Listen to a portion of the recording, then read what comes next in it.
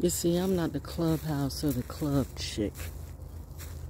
I'm the let's keep it real chick.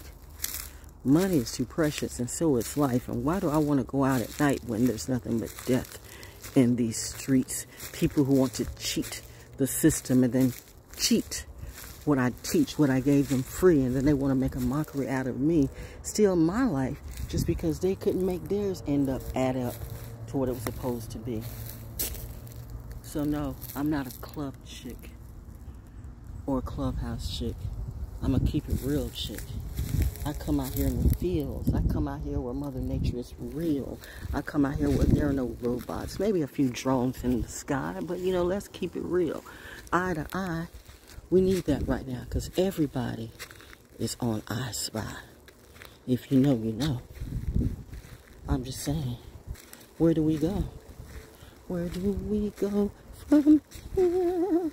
Looks like a lot of fear mongering getting ready to come up, especially during election time. They do this every shift, every paradigm. When it comes to now, all these leaders look like the same brown cow. Shit, shit, shit, and more shit. What side are you on? Justice. Period. But we appear to be at a fork in the road.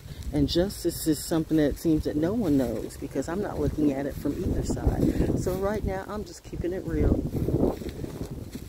I'm just going to man my ride with Mother Nature.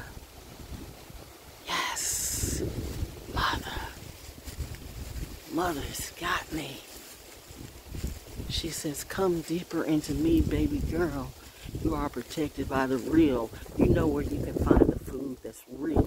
You know where you can find the people that's real. You know what it is in the field because you have been in the field the whole time. Not a field slave, but the one who misbehaved. The one who are like, I am a queen. What is this shit you're trying to get me to do? I don't do Cinderella stuff, fool. Nope, no, no, no, no. And my name is not Kizzy either. So don't play that with me. As I am doing the things that feel good to me, that feel worthy to me, that feel loving to me, that feel like life to me. Yeah.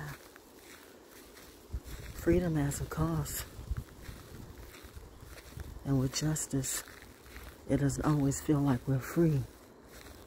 But we're still one big family. And we're starting to see who is on our side who is not. Never mind.